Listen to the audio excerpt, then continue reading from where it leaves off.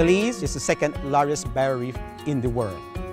There is no better way to see this than going on a snorkeling trip. The boat is great for snorkeling because you're very comfortable right out to a snorkeling site, about 25 to 30 minutes. It's fantastic. We'll give a briefing and explain how to use your equipment. When everybody is ready, the pool is open. This snorkeling site is very beautiful. Beautiful corals, different species of fishes that you will see. I love my job. I love to show them what's beneath the sea, our beautiful reef.